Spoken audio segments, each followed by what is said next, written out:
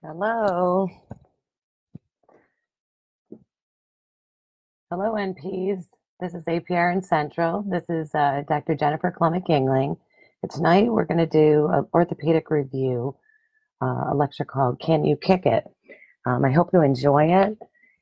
If you do, and you like what we do here at APR APRN Central, we're really trying to help students and our colleagues who are in practice strengthen their skills and their knowledge. Um, please like us on Facebook. We also have the APRN Central Study Group. Please feel free to share that with your friends and colleagues. We're on Instagram and Twitter. We also have a website at www.aprncentral. So let's jump into it. Can you kick it? So, one of the first things I'd like to um, talk to you all a little bit about is um, osteoporosis. And um, when you look at this slide, you'll see the slide on the left, and those are nice, healthy, really bright white bones. When you look at the the picture on the right, you'll see that they're almost see-through, and this is um, indicative of osteoporosis. And you can see with this um, individual, there also is a uh, fracture of the hip. We know that osteoporosis is deterioration of the bone tissue and it's caused by hormonal changes um, in calcium and or vitamin D deficiency. Um, often in, in the in and we see it a lot with women, we'll see kyphosis, which is a vertebral fracture that's due to osteoporosis. Um, we use the FRAX, uh, fracture risk assessment tool, and um, women less than 65, um, we often can see an increased 10 year fracture risk. What are some of the risk factors? Um, individuals who are um, of Asian descent, Caucasian, chronic alcohol use, age. Um, pre- if you have a patient who has a previous history of a low trauma fracture, especially in somebody 50 years of age, that's a big red flag. You want to make sure that you're um, assessing this patient for osteoporosis. We also know with estrogen and testosterone deficiency, this can is a risk factor as well.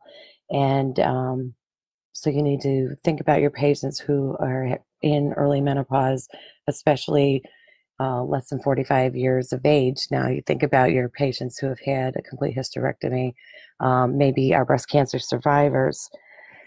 You think about osteoporosis, another risk factor is somebody who has a BMI less than 20. These are our patients, especially who are anorexic or bulimic. Um, someone who has a family history. Once again, that history is so important when you're assessing your patients. Someone who has a sedentary lifestyle, um, our obese patients, and uh, patients who smoke and or use a lot of caffeine. Now, secondary osteoporosis that can come from medications, and um, you can see that in an individual who's been on a glucocorticoid um, more than 2.5 milligrams for more than three months. Uh, individuals on anticonvulsants, they're phenobarb, phenytoin, um, individuals who have been on chemotherapy, uh, cyclosporin, our Depo-Provera patients, um, individuals with thyroid supplements, PPIs. You know, keep that in mind. If Someone who's on chronic um, uh, PPIs, uh, you do need to make sure that you are assessing their um, osteoporosis risk. Um, you know, your tamoxifen, your methotrexate, those are also um, some of the drugs that possibly could um, increase the osteoporosis uh, risk and give your patient a secondary osteoporosis. We also know with nutritional disorders, our alcoholics, um, we talked about the anorexic and bulimics, uh, individuals who have malnutrition, someone who has a, a vitamin A um, excess, and our vitamin D deficiency. So we know that's something we want to potentially check in our patients. Um, renal insufficiency, lupus, and our RI patients too. So when it comes to osteoporosis, we do use a bone density scan or the DEXA scan. And um, you want to do a DEXA scan T-score every year, two years beginning at age 65. So if you see when you you get your results, if you you should see if your meds, um, if your patient on meds, and um, the T score will be more positive. So normal is greater than negative 1.0. Osteopenia is negative 1.0 to negative 2.5. osteoporosis, on the other hand, is um, e- equal to or greater than negative 2.5. Okay, and I, I, like the graphic on the right because it kind of gives you a um, way to kind of you know look at the barometer of osteoporosis. Um, and you know we, we definitely want to be screening women over the age of 65. That is um, right in our guidelines from the National Osteoporosis Foundation and the USPSTF. Uh, so, how do we treat osteoporosis in individuals 51 to 70? We want to make sure, and if you're going to be testing soon, this is really important for you to, to take note of it. The dose for vitamin D is 600 to 800 international units per day for cal- vitamin D. Okay. For calcium, the dose is 1,000 to 1,200 milligrams per day. Um, uh, Fosamax is our first line um, drug for osteoporosis. You want to make sure one of the anticipatory guidance um, that you want to give your patients is um, that you want to make sure that they sit up straight and they take the water, um, take their medication with water because you want to make sure you avoid esophagitis. Um, you know, the PPIs, it's, it's a big consideration. That's a, um, you know, adverse condition, you know, um, they can cause the osteoporosis for long-term use. Um, when you think about drugs that may help your patients who have osteoporosis, we know that a thiazide diuretic that will increase calcium absorption and decrease bone demineralization. You want to ask your patients and encourage. Um, you know, you want to ask about smoking always every visit, but you want to, um, you know, try to encourage smoking cessation decrease alcohol and caffeine intake. And, you know, some of the anticipatory guidance that you may talk to your patient about your diets is an increase in the dark green vegetables, salmon, sardines, soy, and citrus.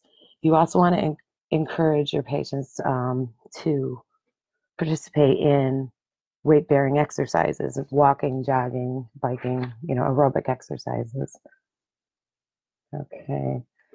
So, osteoarthritis. We know that there are more than 20 million individuals affected in the US. Um, with osteoarthritis, um, you're going to see destruction of the cartilage, thinning of the cartilage. Um, you know, often, you know, when you're looking at your patients, you may see your Heberden nodes, your Bouchard's nodes. Often, osteoarthritis will start in one joint. Okay. These patients may have some morning stiffness, but generally it's less than 30 minutes. Um, this is a osteoarthritis only affects the joints and it's, it's due to wear and tear. The um, cartilage is affected. You may have asymmetric um, ball, uh, bone and, and, joint involvement. Um, you're going to see this a lot in the big joints, your knee, your hip. Um, you're not going to often see red, warm, swollen, tender joints with osteoarthritis. Um, it's not very common pain is a slow onset and it, it, gets worse as the day goes on. These patients should have normal labs. Um, you know, you do want to encourage them to like uh, like with osteoporosis to do aerobic exercise, some walking. And how do we treat them? We're going to start with Tylenol first, NSAID second. You may use capsaicin cream. You may use some glucosamine. Um, the the um, purple supplement, the SAMe you want to encourage weight loss, uh, against smoking cessation, they, and you may even um, have your patients do acupuncture or Tai Chi. Okay, this is a picture of the uh, arthritic knee x-ray, and what I want you to look at is the x-ray on the left. You can see that there's a nice joint space. It looks nice and crisp.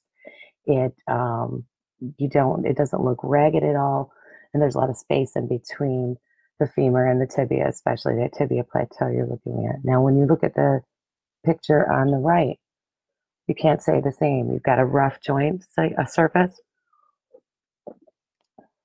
You also appears that there is some joint narrowing, and you can see that there's it's labeled clearly. There's some osteophyte, which are some little um, like hooks you may see in that joint surface. All right, so rheumatoid arthritis. With RA, You can see in this picture, um, you've got the ulnar deviation of the fingers. Um, about 2 million people in the United States have this as well. You're going to see your rheumatoid nodules in these patients. You may also see swan neck deformities, um, and this is due to the extensor tendon subluxation. They also may have a boutonniere defect, which is a hyperflexed uh, DIP joint. This, um, with rheumatoid, it starts in many joints, not just one joint like osteoarthritis. So you want to make sure for, if you're testing that you are very clear, make a, a grid out osteoarthritis versus rheumatoid because they're very different in the presentation. Um, and, and, sometimes are complete opposite. So starts in many joints. You're going to have morning stiffness more than 30 minutes. Okay, this is thought to be autoimmune. It's, uh, it's systemic. It's not just the joints that are infected. These patients can have uveitis, scleritis, vasculitis. They can have pericarditis. Um, the synovium is affected. Okay, we know with the osteoarthritis that the cartilage is affected. So it's two different parts of the, the bones that um, are affected. You're going to often see, instead of the big joints that we see in osteoarthritis, this uh, RA often will affect the small joints of the hands and the feet. These individuals may present with red, warm, swollen, tender joints, and there generally is an acute onset of the pain. These individuals, if you, you draw some labs, we know we're going to, you know, check a rheumatoid factor, a CRP, um, and the the SED rate they, they may all be elevated. These individuals, you know, we know with osteoporosis and osteoarthritis, um, well, the osteoporosis, we want to do weight bearing exercises. With rheumatoid arthritis, you want to do non weight bearing exercises. This would be swimming, this type of thing. First line uh, treatment is your uh, NSAIDs. Okay.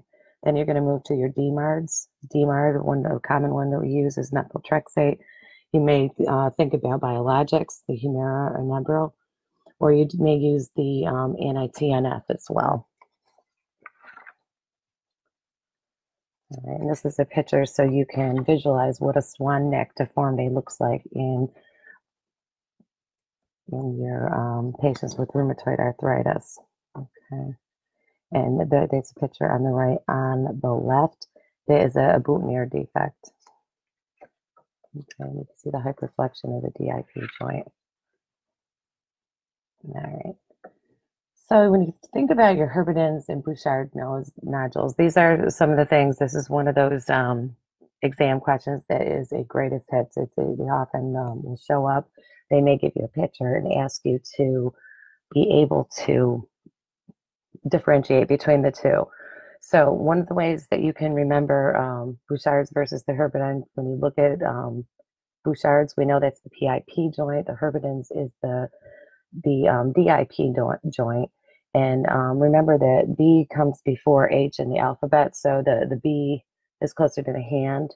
That may be one way you can remember. Um, you know, uh, Another way that is kind of a silly way, but is to think about um, my friend Snoop Dogg. Okay, Snoop Dogg uh, holds his joint in the DIP joint. Okay, and that is the Heberden nodes. Okay, so if you think about how he's holding his uh, cigarette here, you can see that he's holding it in the DIP joint. And you think about the herb, the herb, the Heberden nodes. Okay, so for chisel, you should get this one right on the exam. All right, let's talk a little bit about psoriatic arthritis. Um, a lot of times in these patients, it, it, they will have arthritis that's um, asymmetric. Um, it's usually found in the DIPs. They, uh, these patients can have tenosynovitis. Um, they are going to present with painful swelling, of the fingers and the toes. Um, they often will, um, they, you'll see it called sausage fingers or dactylitis. You're going to see pitting of the nails. That's why the, the picture on the right there, you can see the pitting in the nails um, with these patients. And they're going to have um, a co-diagnosis of psoriasis. So these are the patients, think of psoriasis, silvery scales. We know if you take one of the scales off, if they have pinpoint bleeding, that's Auspitz sign. Um, these patients often will have seronegative um, labs, okay? They're not going to have an elevated ESR, they're not going to have an elevated CRP. Um, psoriatic arthritis is an erosive disease. Um, basically, the joints erode and, and basically dissolve. And I'm going to show you a picture in a minute so you can see. When you look at the x-ray, um, they often will describe it as a, a pencil in a cup. You're going to treat these patients with uh, your NSAIDs, glucocorticoids, um, methotrexate, your anti-TNF. Um, again, you want to encourage smoking cessation, weight loss, exercise, and they may need uh, referral to PTOT. So here's another picture so you can kind of see um, what I mean when I talk about the um, sausage digits with the erosion of the joints, um, the dactylitis. Okay. All right, so really hit this home, um, here's a slide that describes and has side-by-side psoriatic arthritis versus rheumatoid.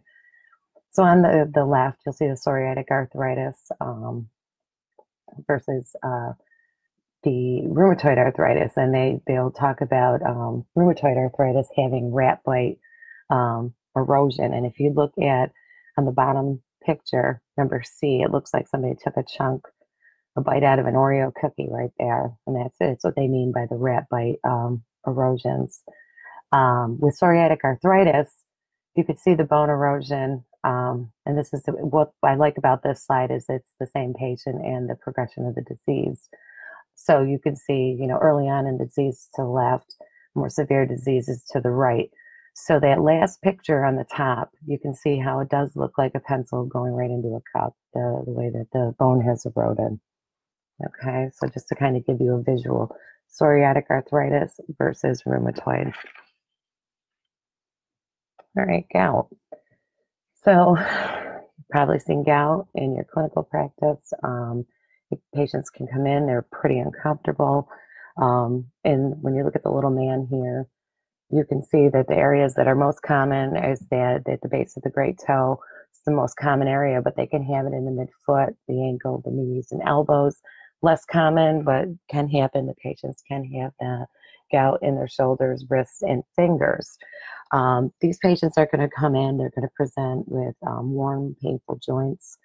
Um, they may have subcutaneous tophi, and those are like little nodules on, on their hands and elbows. Um, gout is uh, caused by crystal deposits in the joint. Often the patient will have a um, elevated uric acid and this is caused uh, a lot of times by uh, dietary purines. So, um, alcohol, beer, um, you know, rich foods. They, they sometimes will call this the rich man's disorder. Um, you know, if a patient is having an acute attack, they may not have a, an elevated uh, uric acid level because all those crystals are right in that joint. Um, they may have a history of kidney stones. Okay. Um, you know, often you, the patient will come in when they're in an acute attack. Um, you're going to use your in, uh, NSAIDs. First line is your indomethacin. And um, then uh, your second line would be your colchicine. Okay. They're to, you're going to try to give that as close as you can to the, the first uh, sign of an attack.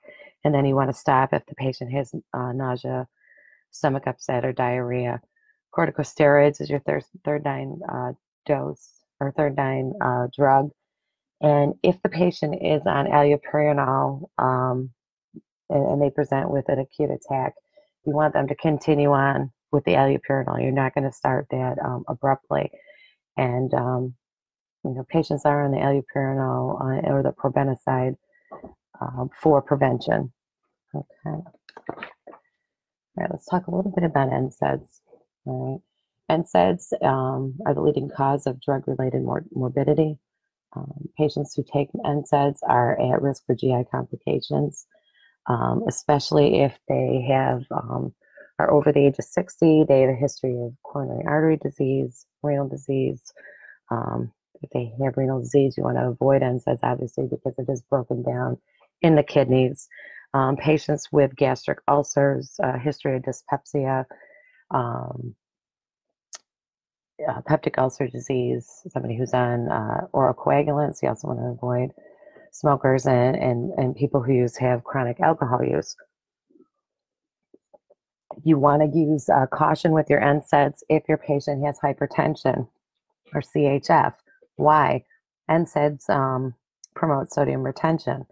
We know with sodium retention, that means there's um, increased fluid volume in the body. That's going to increase their blood pressure. If they already have a problem with fluid and they have CHF, obviously you don't want to increase that problem. Um, NSAIDs are, are contraindicated pre- preoperatively. Okay, so if you're seeing your patient for a preoperative visit, you want to make sure that you tell them no um, ibuprofen. Um, you want to use the lowest effective dose.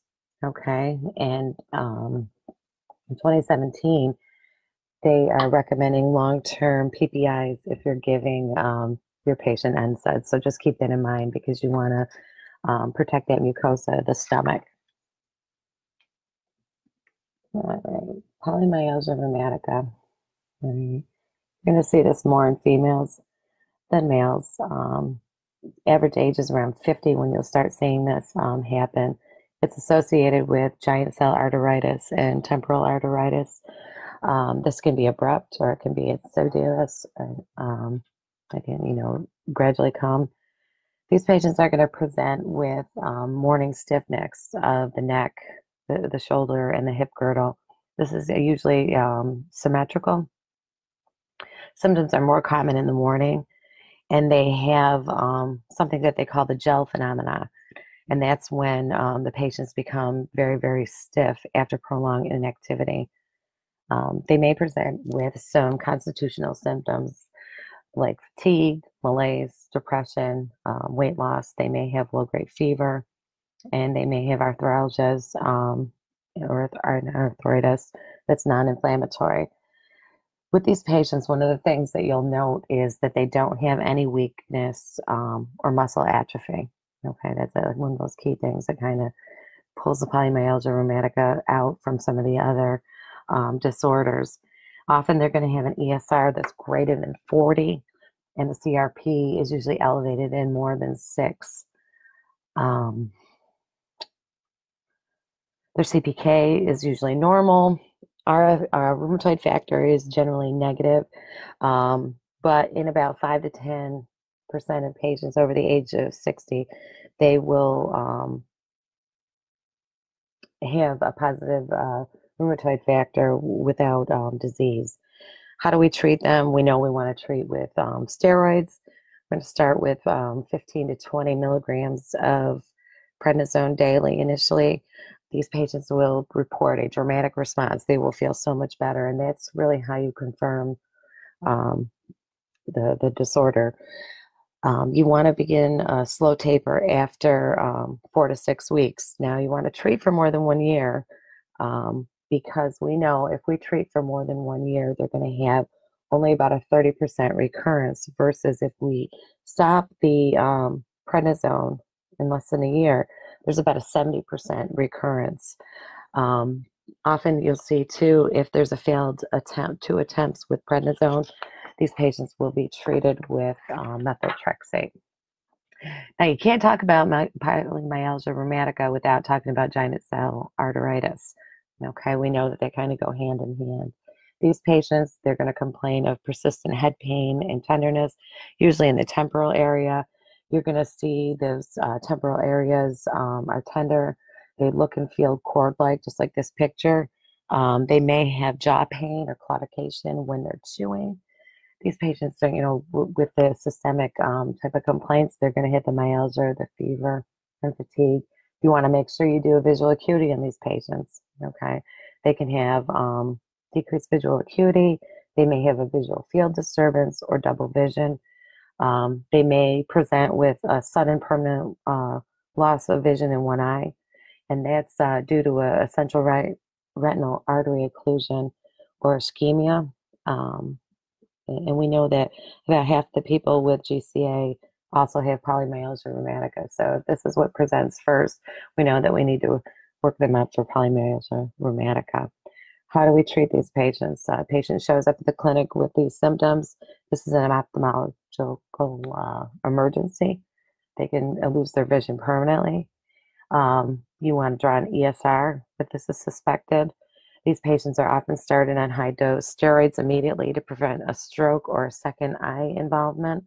And um, to diagnose this, they'll need a temporal artery biopsy within a week of starting the steroids. All right, Paget's. Um, Paget's uh, is, is the second most common type of bone disease after we think about osteoporosis.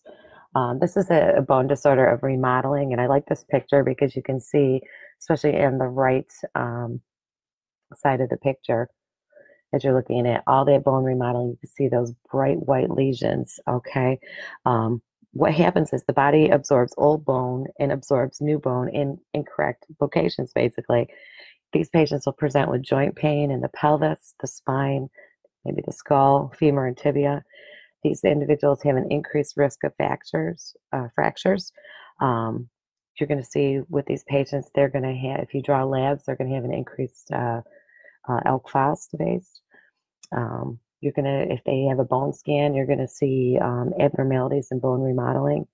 And um, first line treatment for these patients is the bisphosphonates your calcium and vitamin D. The treatment is the same as osteoporosis when it comes to the calcium and um, vitamin D. Again, six to 800 um, international units daily of the vitamin D and 1,000 to 1,200 um, milligrams of calcium daily. Okay. Um, when you think about the vitamin D, if the individual is over the age of 70, you want to make sure that you're giving them a higher dose, at 800 international units of the vitamin D daily. And then also the um, bisphosphonate, um, your Fosamax. Um, you, if you get you're ordering that, you want to give that anticipatory guidance again. Sit up straight, take it with water. Otherwise, your patient will end up with esophagitis and really not be too happy with you. Okay, fibromyalgia. Um, what we know about fibromyalgia, it's idiopathic. Um, your patient um, to be diagnosed has to have had the symptoms for at least three months. Um, they're going to be, uh, you know, reporting fatigue. They may report that then when they wake up that they don't feel like they've had a good night's sleep. They're not refreshed. Um, they may complain of some cognitive symptoms. And these individuals are going to have widespread pain. And in this picture, you can see the different areas, the, the, the pain points. And um, they're going to have tenderness when pressure is applied to at least 11 out of the body point, out of the 18 body points. Um, you need to make sure that you rule out um, other causes. You know, you want to make sure that you're doing a rheumatoid factor and ESR. You may do an HLA um, dash B two B twenty seven. How do we treat these patients? Um, NSAIDs, SRI, SSRIs, and sometimes the cognitive based therapy. All right, lower back pain.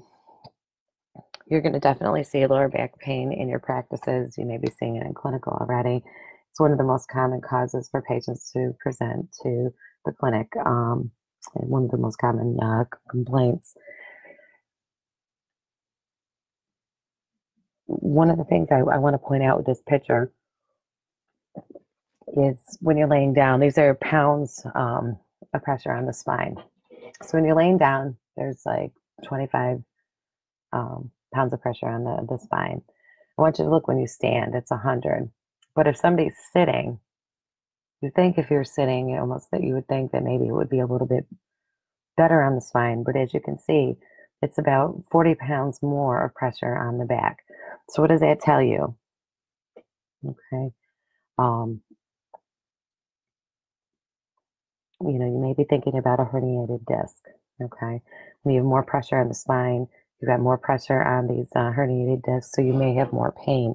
So just I want to take a pic- look at the picture because this is something that um, may come up too in the near future.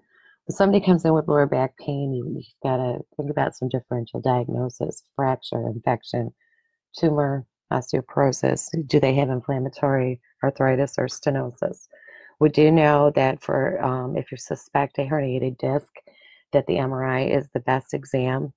Um, if your patient reports direct trauma to the spine, that's when you would want to get an x-ray to rule out a fracture. So if they have direct trauma to the spine, an x-ray is okay. But if you're worried about your, your discs, the MRI is really the gold standard. Um, how do we treat patients with lower back pain once we rule some things out? NSAIDs. Um, we may use muscle relaxants, um, warm compresses. You may encourage these patients to increase their core strength, so abdominal strengthening muscles. Um, you know, you may encourage them when they're laying, you know, down resting. They want to lay on their back with a pillow underneath their knees to further alleviate any pressure that would be on the spine. Um, and when you have back pain, I want to kind of delve into some of the differential diagnoses that you may think about. So if you have somebody with back pain and um, you are, you know, some of the things that may be red flags for cancer is somebody who is more than 50 years of age with a new onset of back pain, someone with unexplained uh, weight loss. And these patients, when you examine them, may have some point tenderness. Caudica equina, okay? Any patient that comes in and you're evaluating for back pain, one of the things you need to ask them, have you become incontinent of your bowel, your bladder? Um, because with Caudica equina, we know that these patients can lose the um, anal sphincter tone and become incontinent. It's a big red flag. We know that these patients, that that's a, they need emergency surgery to decompress. They may, um, with Caudica equina, talk about saddle anesthesia. So they have, um, you know, numbness to the perineum, um, buttock area. Um, they may have motor weakness or sensory deficit as well. Um, these patients not only can they have urine um, incontinence, but they may have urinary retention as well. So, and often it'll be a progressive motor sensory loss. So, any of these red flags, you want to definitely send them to the ER. They need uh, emergent uh, surgery. So, if are you suspect of a fracture? So, somebody who has a fractured spine is often going to have significant trauma. It may be somebody who has prolonged use of steroids, someone who's over the age of 70, um, and maybe has a history of osteoporosis. We know we can have compression fractures. These patients, too, will have um, spinal point tenderness. Okay. Are we worried about infection? What is that patient going to look like? This patient may come in with fever, vertebral tenderness, and they may even um, have uh, an active UTI. Um, one of the history that, you know, if somebody comes in with back pain, you want to ask, have they had any spinal surgery? Because if somebody's had spinal surgery within the past 10 months, or 12 months, excuse me, um, you do need to be vigilant and, and, concerned about a spinal infection. One of the things that um, you, you really, you know, need to be having in your differential um, is an abdominal aortic aneurysm too. These patients may come in with um, abdominal pain. Um, it, they're reporting it's ripping or tearing. Um, these individuals will have uh, coronary artery disease risk factors and or a past medical history of coronary artery disease. In that exam, you may see that they have a pulsatile abdominal mass, okay? So you want to do make sure when you're assessing your patients that you also do an abdominal assessment in your patients um, if they're coming in presenting and complaining about back pain. Talked a little bit about um, compression fracture. Okay, these patients um, often will have a history of osteoporosis, and they'll report to you that they're having pain that's worse when they change position um, from supine to sitting or from uh, sitting to standing. Often they'll have a spinal uh, point tenderness as well. So, just some things to think about um, with back pain and uh, the patient, how they're going to present uh, some of the risk factors. So, some of the things that may be able to give you a clue on what's going on with the back is when you're doing the exam and your history, you you're going to ask or or perform some things. So, patient who you're suspect of cervical radiculopathy, you're going to have them lift their arm up, or they may tell you, you know, I, I, I feel like if I put my arm over and behind my head, I don't, it, it um, my symptoms get better. Okay, my pain's better. So this may uh, give you a clue that this is cervical radiculopathy. Um, herniated disc. Okay, we know that um, from the picture I showed you before, the pressure on the back is less when the patient is um, standing or when they're resting supine. but it's more, uh, often with herniated disc, it's worse when they're active, if they cough or sneeze and they're driving, or sitting, or uh, bending forward. We know um, the MRI is a gold standard for um, evaluating uh, herniated discs of the back. Um, lumbar radiculopathy, or a nerve root compression of L4 to S3. Okay. Um, keep in mind, sciatica is a symptom of radiculopathy. Okay. Um, this is caused often by herniated discs or arthritis. Um, patients will tell you that they have pain that's in their low back and it runs down the back of their leg. Um, keep in mind, one of the things I do often is I will have a um, a picture of the dermatomes, and um, because if you look at your dermatomes, you'll see like L1, L2, you know, because sometimes your patients will present with pain in different areas that um, will make sense if they that where the herniated disc is. So that's a little trick. It's one of the things that I keep um, on my desk and easily accessible when I'm working. Um, with lumbar radiculopathy, these patients will tell you that the pain's better when lying on the non-affected side. And um, when you are doing your exam, you're going to ask them to do straight leg raises. Okay. And if they have lumbar radiculopathy, the pain is going to be worse at 30 to 40 degrees. Okay. Lumbar stenosis. These patients, they're going to report to you that the pain is worse when ambulating or standing, and it's better when laying down or sitting. They're often talk about um, leg pain, uh, paresthesias, or weakness as well. So there's a, a, a couple of different uh, hints that may help you when you're getting together your diagnosis for your back pain. All right, sacroiliitis. So sacroiliitis is the inflammation of the sacroiliac joint. And you can see in the picture, I've got the uh, arrows pointing to the, the SI joints, and you can see that there is um, some inflammation there.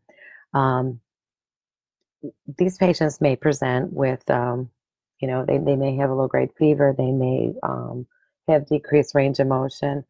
Um, you know, this patient has um, sacroiliitis and ankylosing spondylitis. Um, these arrows uh, that are on the slide point to the inflamed and narrowed SI joints, and they are white because they're sclerotic um, around those joints. Sacroiliitis.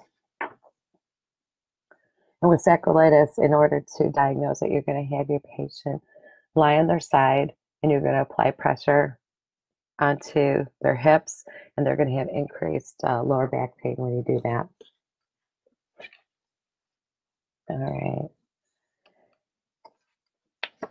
This is Ankylosing spondylitis. Um, you're going to see this, and, it, and when I, I kind of think about um, when I look at this slide, the Crooked Little Man and the Crooked Little House. Um, you're going to see uh, ankylosing uh, spondylitis more with men than females. Often will have the onset in their 20s. And if you look at the slide, this is the progression over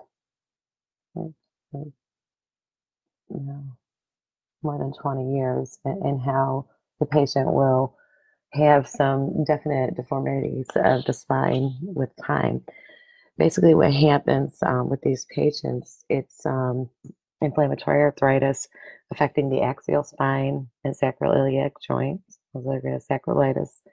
Um, what happens is the bones or the joints and ligaments that are normally permit the, the back to, to have range of motion become very inflamed and that causes new bone formation and fusion. And these patients, when you look at their x-rays, often they'll, they'll call it a bamboo spine. And I've got a picture for you to look at in a minute about that. It'll kind of knock that point home.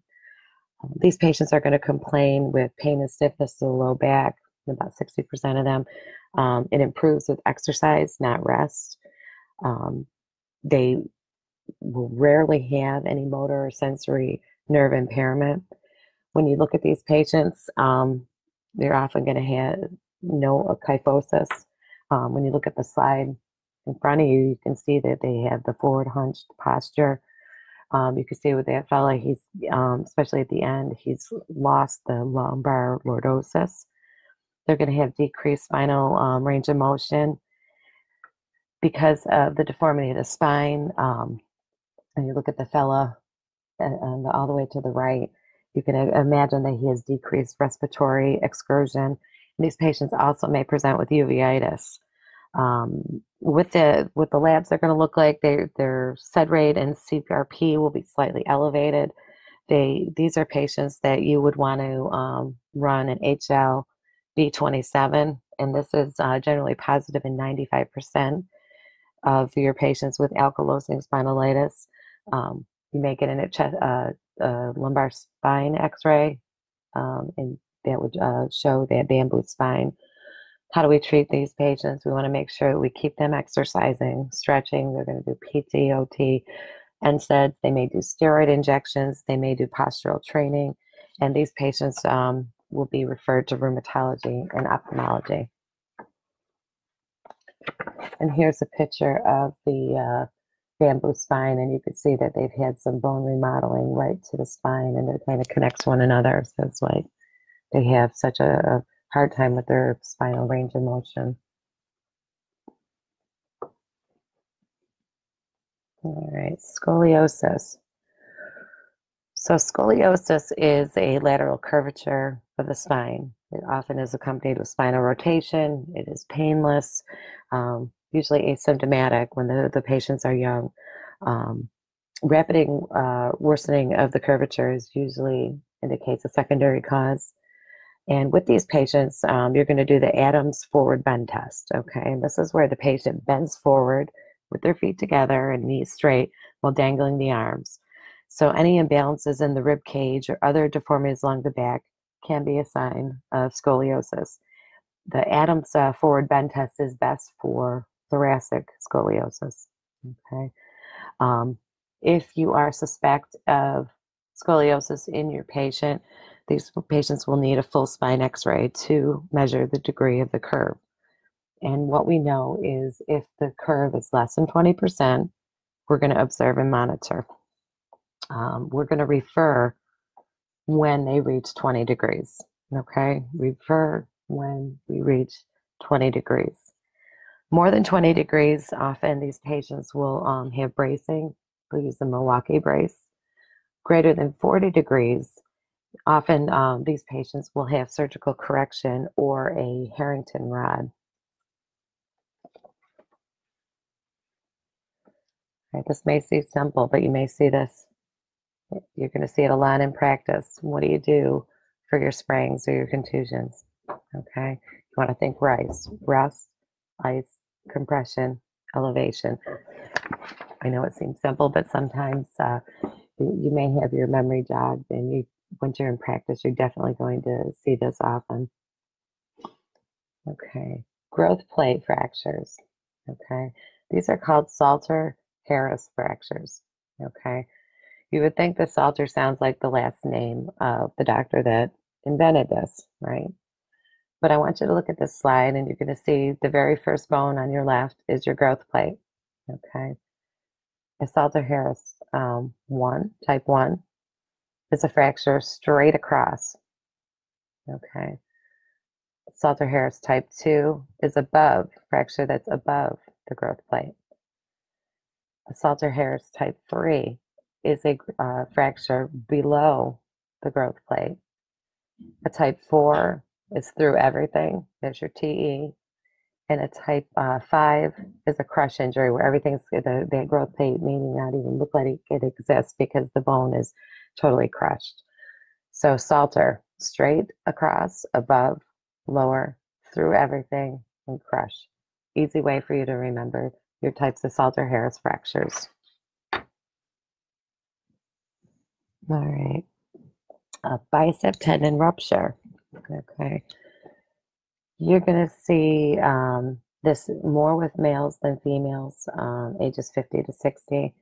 Um, they're going to come in uh, and they may tell you they can't lift. They may tell you that their symptoms are worse when the arm is supine. They may uh, tell you while they were lifting at the gym or lifting a, a large heavy box that they felt a pop at the elbow and basically that pop is the the tendon coming off from the bone. Um, the weakness may also be worse if the um, in supination versus flexion. And in this um, picture, you can see that they'll, they'll have a bulge in the arm. For these patients, you're going to do a hook test, okay? You're going to ask your patient to actively flex the elbow to 90 degrees to fully supinate the forearm. The examiner then is going to use their index finger to hook the lateral edge of the tendon by uh, bicep tendon. Um, with an intact or partially torn tendon, the finger can be inserted about one centimeter beneath the tendon. An abnormal hook test, which has a distal avulsion, there'll be no cord-like structure to palpate or hook. Okay. So for a bicep tendon rupture, we're going to use a hook test to confirm their diagnosis. All right. Rotator cuff injuries, tendonitis. Okay, what causes that? Um, rotator cuff tendonitis is often caused by repeated overhead movements, uh, often will occur in the dominant arm. The patients will tell you that the pain is worse at night and may interfere with their sleep.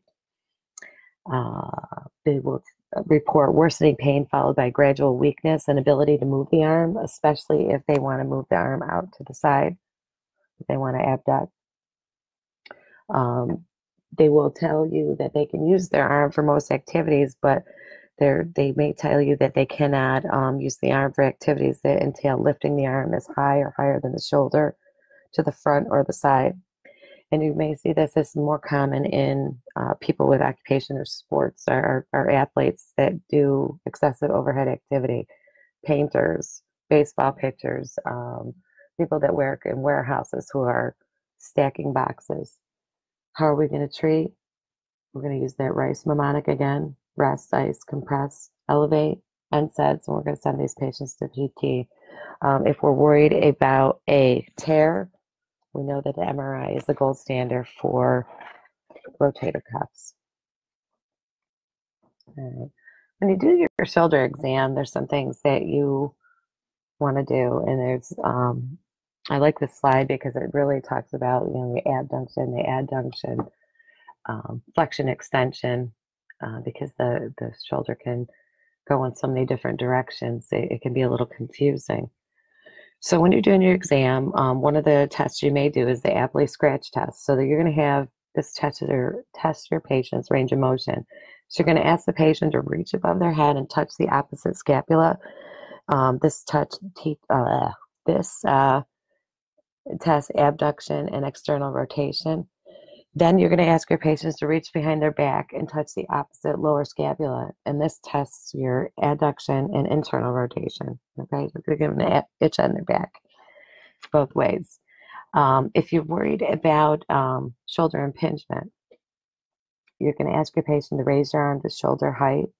And you're going to look at the space between the acromion, acromion and the rotator cuff. Um, it should this is when you do this, it, it narrows. Um, and what's going to happen with these patients? They're going to report to you that the acromion it impinges on the tendons in the bursa, so they're going to have increased pain and irritation. So the Jobe or the empty can test, okay, you're going to have your patient um, have their arms, uh, they're going to um, the arms are going to be rotated to full internal rotation or thumbs down. Once rotated, like they're turning, you know, dumping a can out. Um, once rotated, the clinician will push down at either wrist or the elbow, and the patient is instructed to resist the downward pressure. Positive test is if the patient has um, pain or weakness. Okay. Um, a drop arm test. Okay, so you're going to passively abduct the patient's shoulder. And when observe, then you're going to observe as the patient slowly lowers the arm to the waist. Often with a rotator cuff um, tear, the arm will drop to the side as if the patient, um, you, know, um, you know, they just can't hold it up. They have no strength. They may be able to lower the arm 90 degrees. Um, but if it just feels like it is, it goes down to the waist, um, they can't continue the, the maneuver as far as the waist. Okay. So that's some of the things you can do if you're going to be testing your shoulders. Empty can. Okay. Apley scratch test. All right. so rotator cuff in, uh, tears. Okay, you may your patient may come in, and um, I've had patients. Me think what has happened. Um, athletes, they're running so fast, and they try to stop themselves on a wall. Okay, somebody who's falling and, and puts their arms out, um, you know, against resistance to cushion for a fall. Somebody's doing some heavy lifting. Um, you know, often these, if it's a rotator cuff tear, there's a significant amount of force if the person is, is less than uh, 30 years of age. Okay. These patients will tell you they have a sudden tearing sensation, sensation followed by severe pain shooting through the arm. They're going to be um, often, you know, tell you that they, they have limited range of motion or may complain of muscle spasm. The acute pain is generally from the um, is from bleeding into the joint space, and the you know that pain and the muscle spasm often will go away after a few days. But and they may have point tenderness or crepitus over the site of the rupture. With large tears, um, we talked about some of the things they aren't going to be able to raise their arm to the side. They they can do it with some help. And for a rotator cuff injury, we're going to use the empty can test and the drop test. What are we going to do for these patients? We're going to rest, ice, elevate. We're going to immobilize with a sling. Okay, we don't use the shoulder immobilizers anymore. And these patients are going to need an MRI to rule out uh, an official chair. All right, elbow injuries. There were a couple really cute, um, like little mnemonics to remember because I get these confused all the time. And um, one of the ways to remember if it's a medial epicondylitis, meet me for golf. Okay, meet me medial epicondyle, epicondylitis. Okay, so golfer's elbow. Late for tennis, lateral epicondylitis. Okay, late lateral. So the lateral epicondylitis it's tennis elbow. This is for from overuse. It's not always with people who play tennis. It could be people who are doing repetitive move, movements in for their um, job. Often we'll see this in uh, individuals ages 30 to 50. The pain is to the outside of the elbow. They're going to also have a weak grip. How do we treat? We're going to rest, NSAIDs, PT, and a splint. Medial epicondylitis is your golfer's elbow. This is caused by overuse again, ages 45 to 65, a little bit older. This is pain in the inner aspect of the elbow. These patients also will, may report and may have a weak grip. Again, rest, um, ice, elevate, and NSAIDs, PT, and a splint. Olecranon bursitis. Okay. Olecranon bursitis is caused by excessive leaning on the joint or trauma to the tip of the elbow if somebody falls. Um, this is, you often um, in the office won't drain it. If that happens, it'll be in the orthopedic office. Um, but you treat with LOL pads, splints, and NSAIDs conservatively initially. Okay, generally you won't drain this. It just has to go and kind of dissipate over time. For those of you who are um, family nurse practitioners and take care of kids, common elbow injury in pediatrics is a nursemaid's elbow. Um, this is one of the most common injuries in kids ages one to four. Um, this is caused by the subluxation of the annular ligament due to a sudden longitudinal traction placed on the hand. Um, children ages one to four, often they, they are maybe running away from their mother or father or caregiver or whoever, sibling or um, you know they're playing in the playground and their their older uh, child is swinging the littler one by the arms. Um, my daughter decided she wanted to do a backward dive off her um, changing table when she was about a year and a half or two years old. Um, while I was changing her, and I grabbed her arms to stop her from going off the table, and um, she had a nursemaid's elbow. How are these patients going to present? Um, they're going to refuse to use the arm. Um, they'll hold the elbow in slight flex, uh, flexion with the arm or forearm pronated. And they'll, they'll almost like in, instinctively splint their arm. They may hold it against their body. They may have lateral tenderness, uh, tenderness to the elbow. Um, they'll have full flexion and extension, but they will have pain with supination. Okay. How do we treat them? First thing we're going to do for these kids is we're going to try to reduce it. If we reduce it, the kid starts moving the arm quickly, game over. Um, if you have difficulty reducing it or um, you feel like it's been reduced and the child is still really guarding that arm, you may want to do an x-ray because you may have have had a dislocation with a fracture. Okay. How do we reduce them? You're going to hold that arm supinated at the elbow and then you maximally flex um, the elbow with the and the you know the provider is going to apply pressure over the radial head. If it goes back into place that radial head you're going to feel a click or you're going to feel um, that reduce uh, the radial head reduce okay? Carpal tunnel. All right. Carpal tunnel is a, a really common disorder. You're going to see this often so it's caused by repetitive movement. Um, used to see it a lot with secretaries, and now everybody's using keyboards so much. So I have a feeling that we're going to see more and more of this. And basically, this is the compression of the medial nerve that causes pain or numbness. Um, you may often will present too in women who are pregnant because they have some swelling um, to their feet, their hands sometimes, and um, they'll have a, the compression of that medial nerve. How do we um, test for it? We're going to do the Tinel sign, and you're going to tap or do direct percussion over the wrist to reproduce the pain, and the patient will report tingling um, increases. Phalen's test is when you flex both of the wrists with the dorsal surface of each hand pressed together to reproduce the symptoms. Okay. It's kind of like backwards praying. Sit up, you're praying down and they're going to when they get into this position they're going to tell you that they have increased um, paresthesia and whatnot. How are we going to treat these patients? NSAIDs, um, cock-up splints and sometimes they will do uh, surgery to decompress that nerve. And they can actually do the surgery um, with local anesthesia if they have to with your pregnant patients if it's uh, causing that much disability for them Another disorder you could see um, in the wrist is a ganglion uh, cyst. These are common. They're round, fluid-filled, um, uh, you know, mass on the dorsal wrist. Um, usually these are painless. See them in ages 15 to 40, men more than women. Often these will clear on their own. Um, you know, sometimes you may use a splint.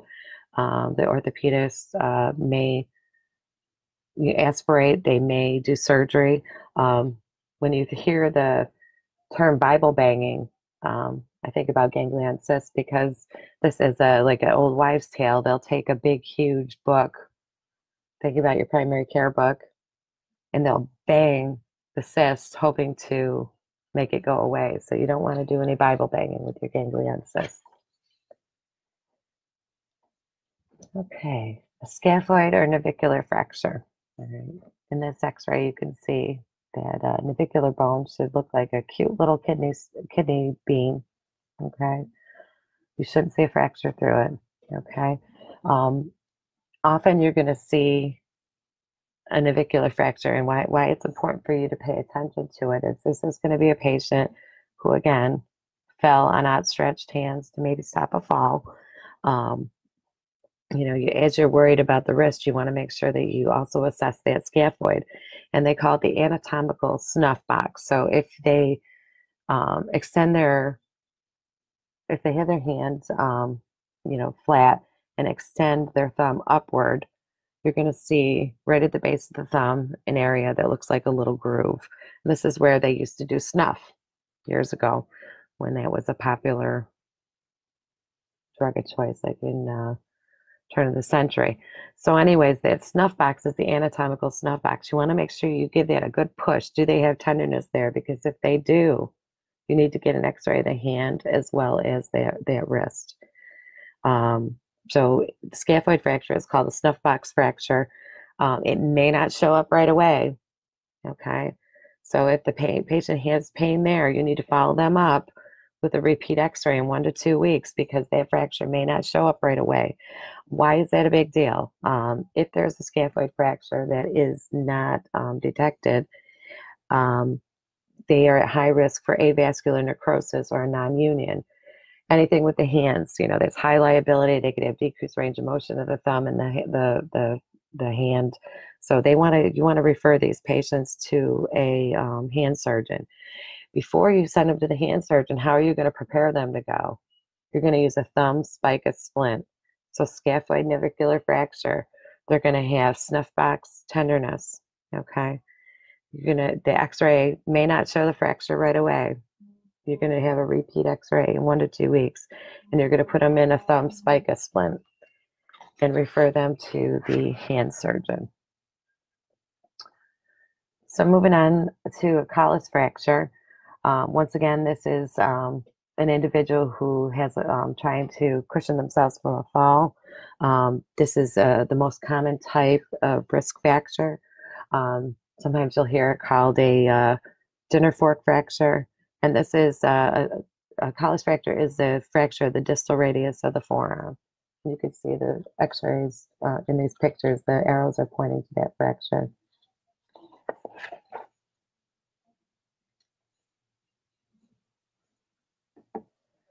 All right, de Quervain's tenosynovitis.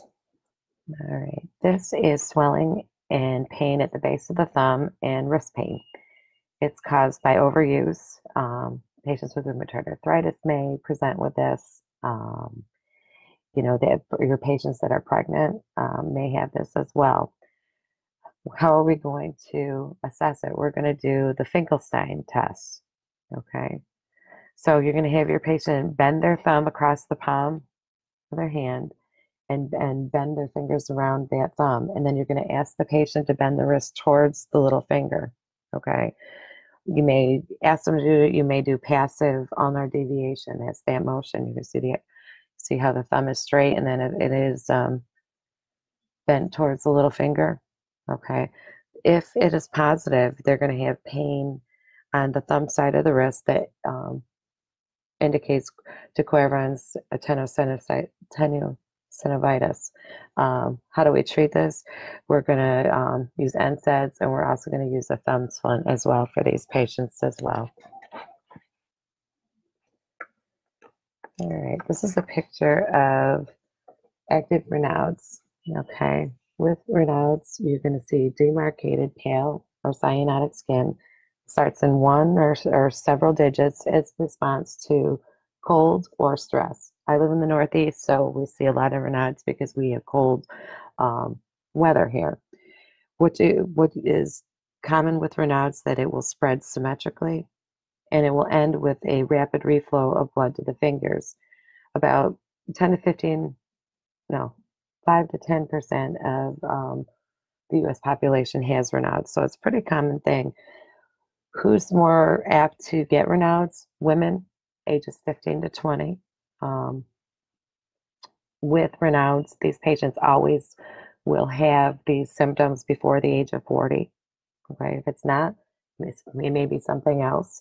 Um, and and um, it also can run in families. A, a, lot of times, when you do your family history with these patients, they'll have a first degree relative that um, has Raynaud's and like we said, it was um, like I said, it was uh, it's also more common in a colder climate. Um, sometimes your patients may take pictures with their hands because it, it, can come just uh, go away just as quick as it comes. And in the picture A, this is a shows the sharply demarcated pallor resulting from the closure of the di digital arteries. And then in B, um, you can see the digital cyanosis of the fingers. So this can be all different colors, okay? What do we do for the patients? We want to um, encourage them to quit smoking. We know that nicotine causes the our skin temperature to drop, so that can uh, cause an attack. We want them to control stress. Um, we know that uh, emotional um, upsets can trigger an attack You want these patients to keep warm, um, avoid cold temperatures. You know, when they are in cold temperatures, they want you want them to wear um, gloves, you know, something on their head, layers, um, and keep in mind air conditioning. You know, this time of year in the summer, I know sometimes you go into buildings and it's so cold it feels like it's that you're in uh, Alaska. We treat with calcium channel blockers. Those are drugs that end with pene, nifedipine, amlodipine, felodipine, um, and, and, sometimes they may use uh, ginkgo biloba. It makes sense because we use that for um, it's a natural herb to use for that some of our patients will use for stress and um, you want to make sure that you are um, taking a good look and um, do they have any ischemic ulcers? You know, these patients are patients that may end up on aspirin. So you want to just make sure that there aren't any open areas on those fingers. All right, pelvic and hip fractures. When you look at this patient on the slide in front of you, if you look to the left, um, you can see that there's a fracture there, okay? Um, both are caused by trauma. Um, the patients may have pain, ecchymosis, and swelling to the lower abdomen, hips, groin, or scrotum. These patients may or may not have bowel, bowel or bladder incontinence. They may have hematuria. Um, we need to make sure we do a very good uh, assessment these patients need to get undressed. You need to look at their abdomen, their lower extremities, um, because internal hemorrhage um, in these patients, especially with the pelvic fractures, can be life threatening. Um, with hip fractures, um, often will have a history of a fall. Patient will complain of sudden onset of bilateral hip pain. About 86% of these uh, the hip fractures occur in persons who are um, older than age 65. Um, often the patient can't bear weight on the affected extremity. I can tell you that I um, have had patients who, one in particular I think about, um, she walked on her hip fracture for about two weeks. Um, it indeed was fractured, but she just was walking on it. Um, when you do your assessment, when you look at this picture, you can see um, that if you looked and we saw the rest of the, the legs that that right hip probably would look a little bit shorter. Okay. Because if you look inside at what's going on, um, you know, the, the affected hip will be shortened and some usually externally rotated if the fracture is displaced. Why is this a big deal? Why do we jump all over these patients and be pretty aggressive? We know that elderly have a one year mortality rate um, in about 20, 20% of them. And there's a five year mortality rate in 32% of these patients. So we want to keep them upright. We want to prevent falls. Want to make sure the office of the agent coming in and doing a fall uh, assessment for them. All right. Let's talk about some his, hip disorders in children. Okay. And the reason I, I made this little graph was for you to be able to, if you have a patient scenario in a question, for you to kind of look at the age and figure out, you know, what would be the most prevalent disorder um, for that age group. So, developmental hip dysplasia, we see this in children ages zero to two. Okay. The leg calf Perthes is often in ages four to eight, whereas the slipped capital femoral epiphysis is in older children, your preteen, school age, 10 to 15 years of age. Okay. Um, with developmental hip dysplasia, males versus females, you're going to see um, less males versus females are affected with this. With the Legg-Calvé, Perthes, more males versus the females, and the slipped capital femoral epiphysis is about a little bit equal, a little bit more boys than girls. Um, does it happen bilaterally? Okay. 20% uh, of kids with developmental hip dysplasia will have uh, bilateral symptoms. With leg calf Perthes, about 10%, so not so common. With slip, capital femoral epiphysis, it's 25 to upwards to 40% can be have problems bilaterally.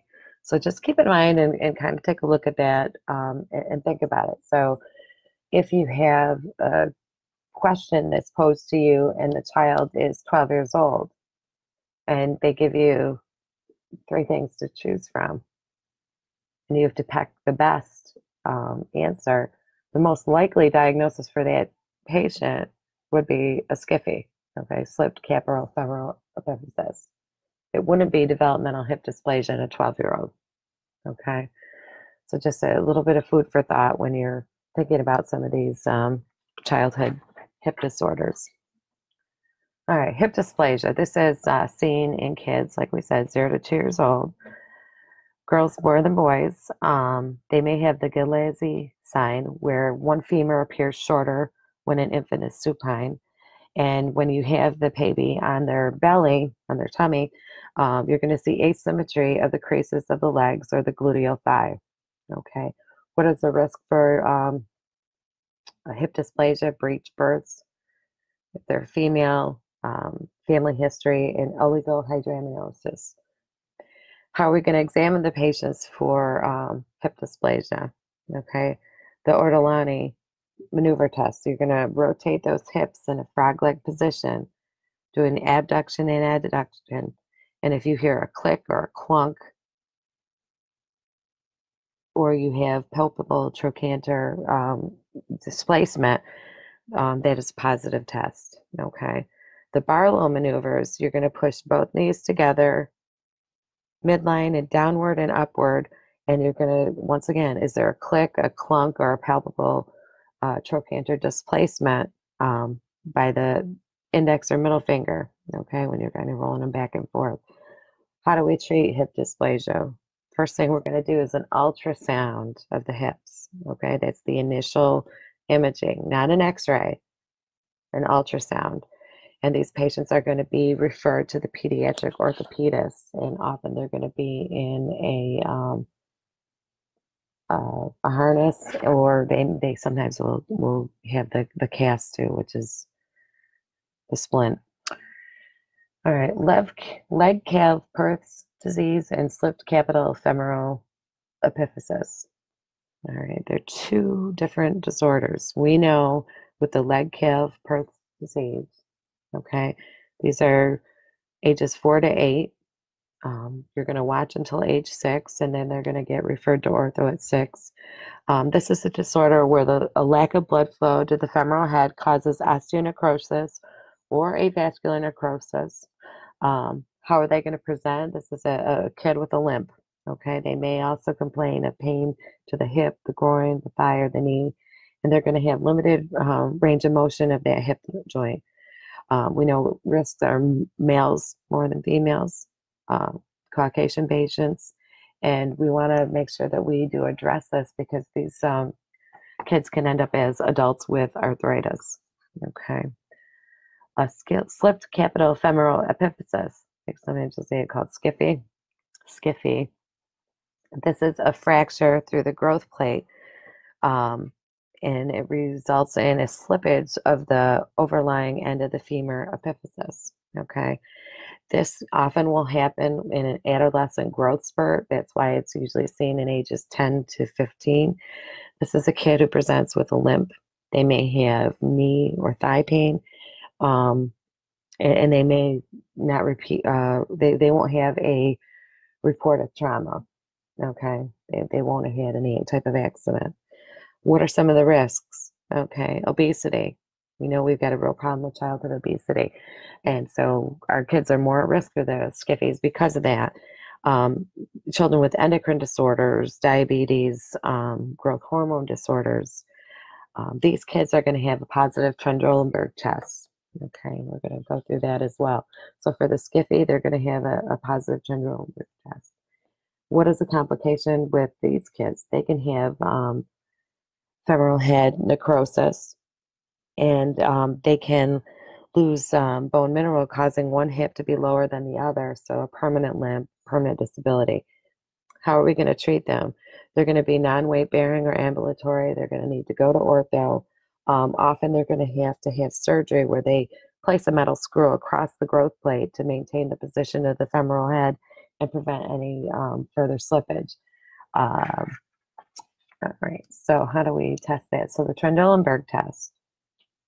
Okay, you're going to do this for your leg calf purse disease, your slip capital um, femoral uh, epiphysis. You're going to have the kid stand on the affected side, and this is going to cause a pelvic tilt. Okay, you're going to look at the iliac crest. You're going to look at the gluteal folds. Okay, and you can see with the Trendelenburg test, it's going to be quite significant that pelvic tilt versus a normal uh, finding. Okay. So if it's positive Trendelenburg, at that point, you're going to need to do a hip x-ray. Generally, you're going to do an AP and a frog leg, and you're going to refer these kids to ortho. Okay, benign knee variants. Okay, so they've got some really fancy name, and they've got some slang that goes along with them. So, um, genu recurvatum. This is hyperflexion or backward curvature of the knees. Genu valgum. These are knock knees. Think about valgum. You have got gum sticking your knees together. Um, genu varum. This is bow legs. Um, a way to remember um, varum is that they're on a, um, it's the position you might be in if you were riding a motorcycle. See, the motorcycle says vroom, varus. Okay. There's a picture for you to take a look at. Septic arthritis. We use the Kocher criteria you're going to have this is a, a, patient that they will not um, be able to weight bear on the affected side. You're going to run a SED rate. It's going to be greater than 40. They're going to have a they're going to be febrile, um, and they're going to probably have a white count um, greater than um, 12,000. Okay. Children can have septic arthritis. It's not something you want to miss. Okay. So if one out of the four criteria is positive, there's a 3% chance. If two out of four of the criteria are met, there's a 40% chance of septic arthritis. Three out of four of the criteria positive, there's a 93% chance. And four out of four, um, there's a 99% chance. So this is going to be non weight bearing with a fever. So you want to make sure you look at those vitals in your kids they come in with um, not weight bearing. Okay, good assessment. Vitals are vital. Okay, let's talk about some adult knee issues or adolescents. So I decided that I probably needed to do some visuals to help you understand how the joint of the knee works, to help you understand what tests would help you um, diagnose some of the issues. So when we talked about the valgus and the varus, okay, so a varus, okay, the varus um, pressure, the varus side is your media, your um, inner part. Your valgus is the outer part. So you're going to see that. See how it's pushing on each side. Um, so the varus is the medial. The valgus is the lateral. Okay. Valgus, there's an L there. Valgus lateral type of pressure. Valgus is the, the that side of the the leg. So we know that the the most poorly con- constructed joint of the body is the the knee. Um, the femur's round, tibia is flat. You've got your four bones. You've got the femur, the tibia, the fibula, and the patella. You've got four major ligaments. Okay. You've got your MCL and your MCL and your LCL that support um, the knee medially and laterally and, and support those movements. You've got your ACL and your PCL that support anterior and posterior movement. They're inside of the knee. Okay, and then you've got your meniscus, which is a cartilage. So if you wanted to test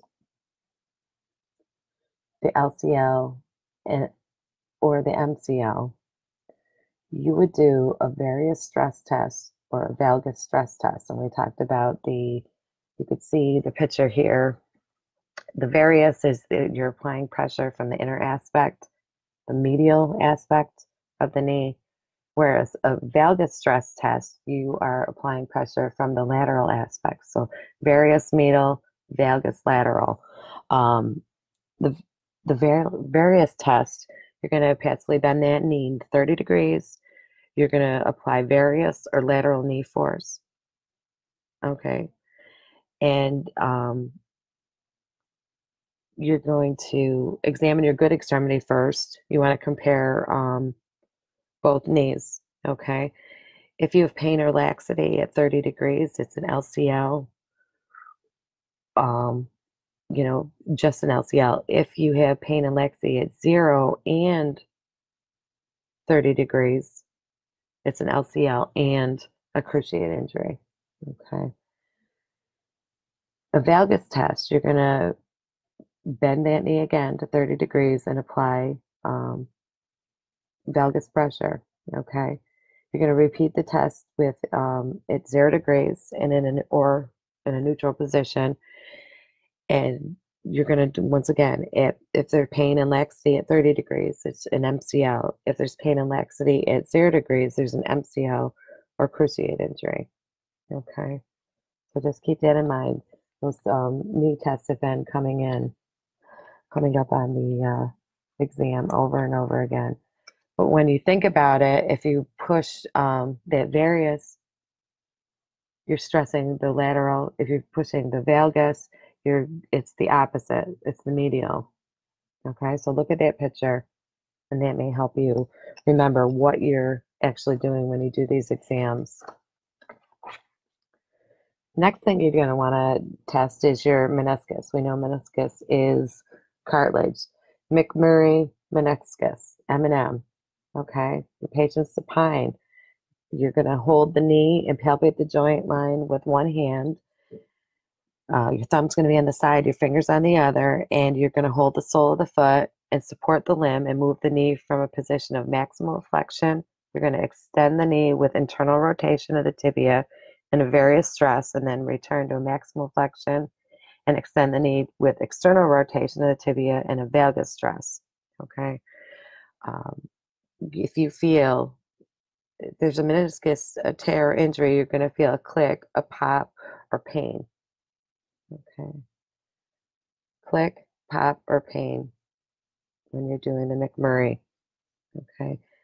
There's also the Apley compression test, and your patient's prone, so they're, and you place the knee at 90 degrees and you rotate the leg laterally and medially, and then you apply downward compression and rotate the leg laterally and medially. If the patient has pain with rotation and increased um, rotation laxity, it's a, a ligament injury. If, uh, once again, there's pain or a pop with rotation and compression with decreased ability to rotate, that's a meniscal injury. So pop, meniscus, McMurray, Apley.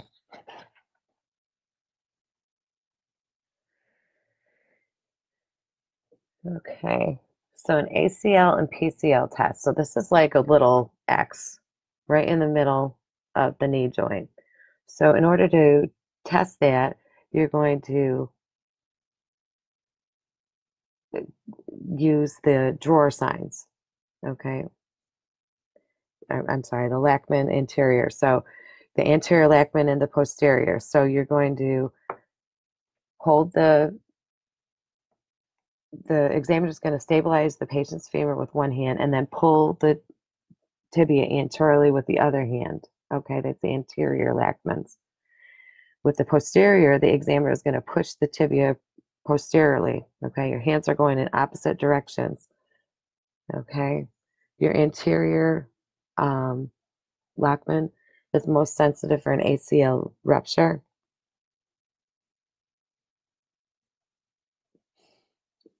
All right. with the anterior and posterior drawer,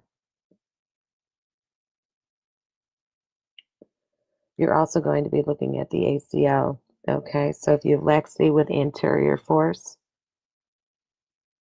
you're going to have an ACL injury. If you have laxity with posterior force, it's a PCL. Okay, so anterior, posterior when you're moving your, your hand. So that's what you would use to check the ACL and PCL. There's also a test to test the ACL that's getting some uh, play now in the literature, and it's called the lever test. Your patient's in a supine position. The examiner will stand on the side of the affected knee and place a closed fist be, beneath the proximal third of the patient's tibia to hit, so the, the tibia is slightly flexed, um, the, the knee is flexed. With the other hand, you're going to apply downward force to the distal third of the femur.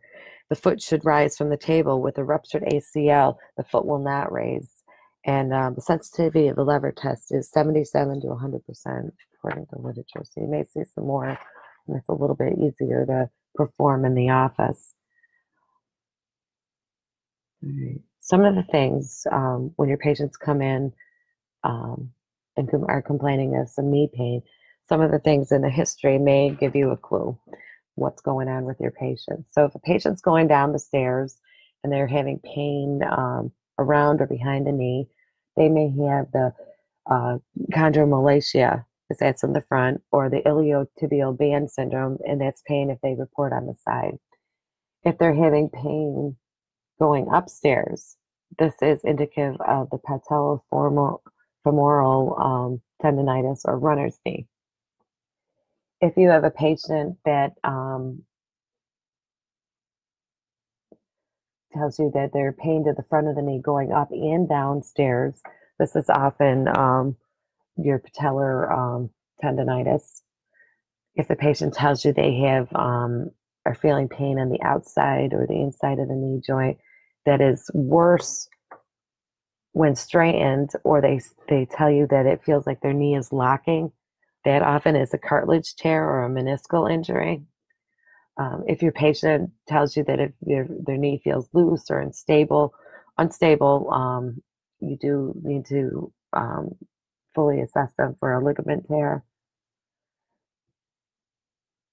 If a patient has um, pain after severe um, forceful trauma to the anterior knee. For example, somebody was riding in a car and um, they did a, hit their knee to the dashboard. This um, you worry about a PCL injury. Often, if a patient will um, tell you they they injured their knee, um, a lot of times with um, if they're trying to stop a fall or slipping, or your soccer players, your football players, um, sometimes your basketball players they, they'll be um, trying to stop very quickly from running or twisting, but non contact. And they tell you that they hear a pop or feel a pop, you, you need to worry about an ACL.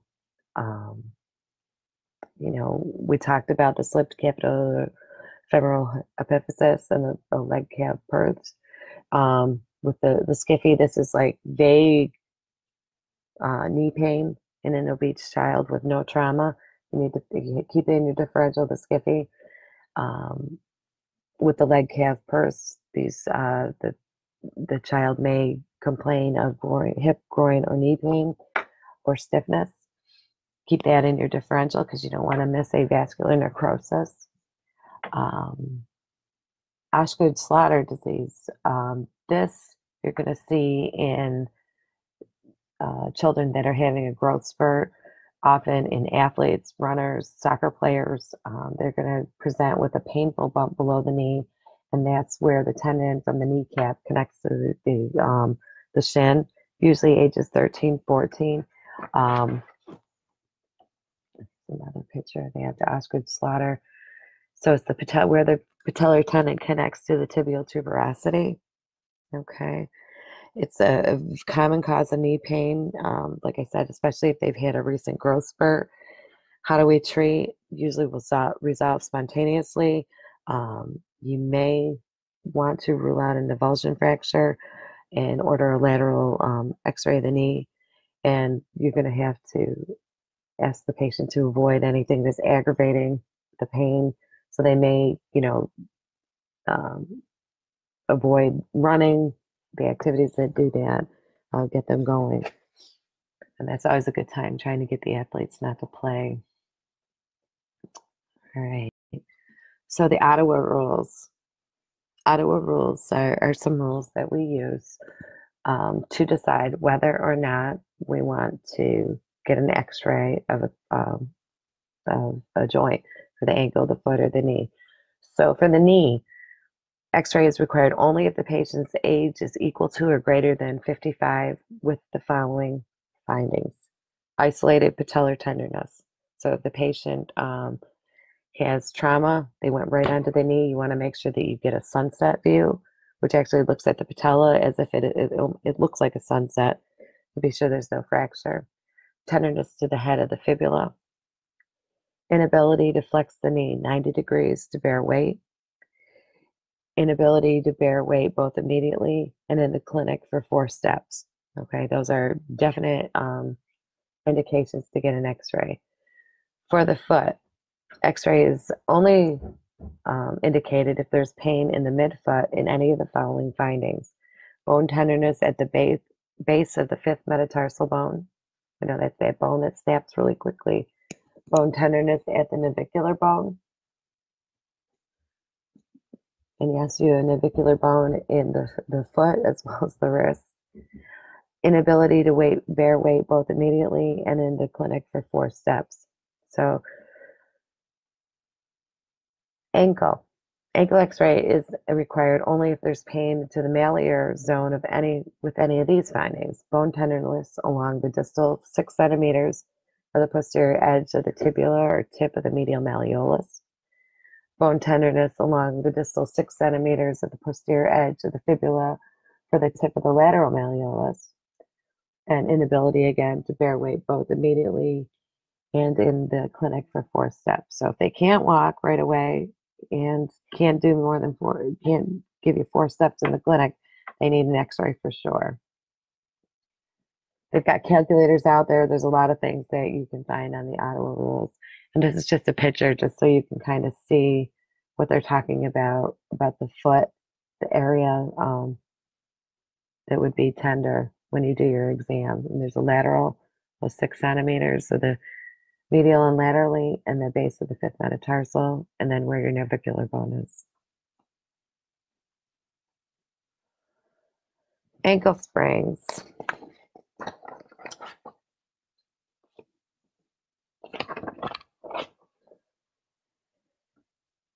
90% of the ankle sprains are um, forced inversion. So just like the, the picture in the slide um, to the right. Um, once the individual has a, a, significant sprain, they have a significant risk of re-injury. Um, and there are some things that, you know, when we look at the, the our patients and examine them, there's different grades that we can use, and these are also part of the Ottawa rules. Okay. So a grade one, which is a mild ankle sprain, you're going to rest. Um, you're going to use an ACE wrap. You may use an air cast or um, an ankle brace for a little bit of support. Okay. These people are able to bear weight and ambulate. Okay. Grade two is a moderate sprain. This is a partial tearing of the, the ligament. Um, these, when you do your exam, you may see ecchymosis they may have moderate swelling, pain to palpitation, painful weight, weight bearing, and um, mild to moderate instability. Grade two, you're going to rest, ice, compress, and elevate, but you're also going to get an x ray. These individuals may need to go to ortho. Okay. You're probably going to need an air cast or a um, ankle splint. Okay.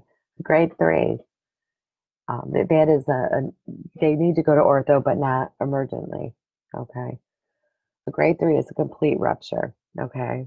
And they cannot bear weight at all um, after the injury. They have an inability to ambulate. Um, they have tenderness over the posterior edge of the malleolus. They have severe bruising, pain. They'll resist any type of um, foot motion. Um, these individuals, they're going to need uh, an x ray They may, um, depending on how unstable they are and how uncomfortable they are, they may need to go to the ER, uh, but they also need to go to ortho. And often grade three sprains will require a short cast or a cast brace for two to three weeks. So that's the most severe of the three different grades of ankle sprains. Okay, and that's popping up on the uh, boards as well. What do you do with an ankle sprain? So if it's a grade one, simple. Ace wrap, maybe use a removable um, air cast or stirrup brace. Grade two, you're going to want to send them to ortho. That's the only difference. Okay. Grade three, there's going to need a cast. All right. Medial tibial stress syndrome. Okay. These are shin splints.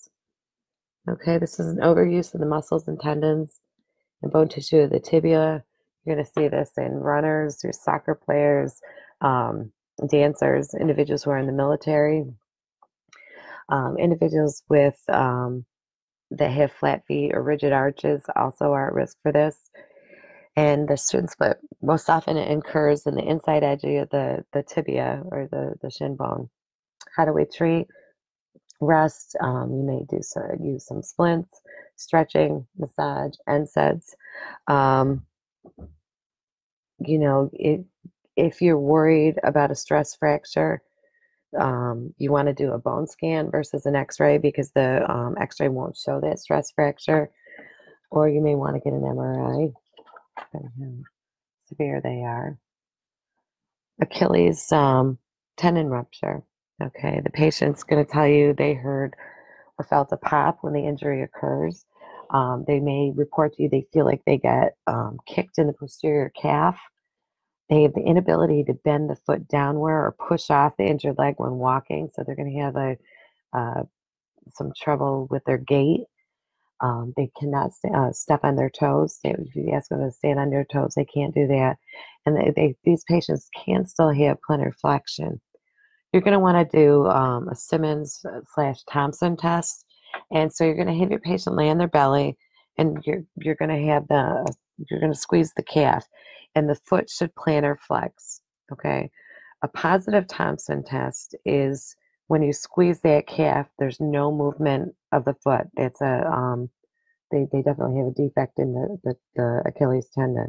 You want to palpate. You can see in this picture, you're probably not going to be able to feel a whole lot. Um, or you may feel the defect in the Achilles tendon. Um, treatment, rest, ice, um, compress, elevate.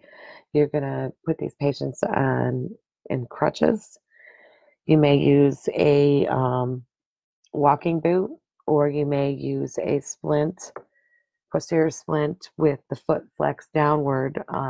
These people are going to need an ortho referral, and they may need surgery to um, correct this. Now, who do we worry about with our um, Achilles tendon rupture? some of our patients with fluoroquinolones.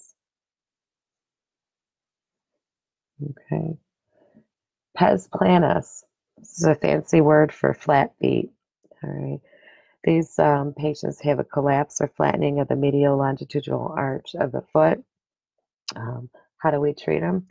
Proper shoes. You may um, use orthotics, bracing, um, immobilization. You may want to think about PT, NSAIDs, um, weight loss. So you want to encourage weight loss if your patient's obese, and they may or may not need surgery. So they may go either to podiatry or ortho. Metatarsus adductus. Okay. They um, also call this um, pigeon toe. this is a, a, common foot deformity um, usually noted at birth, that causes the front half of the foot or the forefoot to turn inward. Um, how do we treat the, these little ones? We're going to teach the parents to do some passive stretch, stretching to straighten position several times a day. Um, these patients may have serial casting every uh, one to two weeks, and or they may have surgery for correction. Clubfoot. Um, this is also called talipes equinovarus. Okay, foot's moving right medially, we know varus means medially. Um, so this is the infant's foot is turned inward. Often the bottom of the foot faces sideways or even upward. This is it's kind of common. It's what happens in about one in every thousand live births. How do we treat? We're going to use a brace. Um, they may use the Ponseti method, where the the they um, stretch or and or cast to gradually um, correct the deformity. They may uh, use casting and or uh, surgery to correct this as well.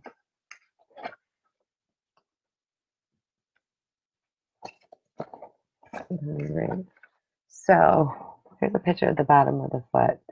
So you have a patient, if they come in and they tell you that they have pain to the forefoot, um, in between the toes, um, it feels like they're stepping on a stone, you need to think about a plantar neuroma, okay? Pain to that medial aspect at the base of the first great toe. Um, you think about a bunion, okay? Your plantar fasciitis will go midfoot to the heel, all right? You want to ask those patients, have they lost weight or gained weight? They're going to do stretching. They're going to roll their foot on the, the frozen water bottle. Um, may, they may do orthotics as well. Um, back to the, the, the, the back of the foot, if they feel like they're stepping on a stone in the back, um, you know, that may be a stone bruise or a heel spur. So this is just a little picture where you're going to see the pain in the feet if your patient presents um, with some discomfort. And here's another look at the top of the foot where you're going to see um, some of that discomfort. Okay, it's a stress fracture. You're going to see that midfoot. Achilles tendonitis right in the back of the, the foot um, over Achilles tendon. Your plantar fasciitis may not only be on the bottom, it may creep up the, the sides the back part of the foot. So, so we covered a lot of things today. I hope this helped you when you're looking at some of the orthopedic issues that are going to come into your practice. And I hope it'll assist you with your studying for your boards. If you like um, what you see, we've got some more um, videos that are available on the study page. Um, and also, there are some on um, YouTube as well. We are going to be having a crash course um, for the um, NP boards, and that's going to be Thursday, August 29th at um, 7 to about 10.30, 11 o'clock p.m. Eastern Standard Time. Feel free to share um, this video, share our website. We just want to keep growing and helping uh, the students and our colleagues as we uh, take this journey together. And I hope you enjoyed tonight's uh, presentation and we'll see you soon.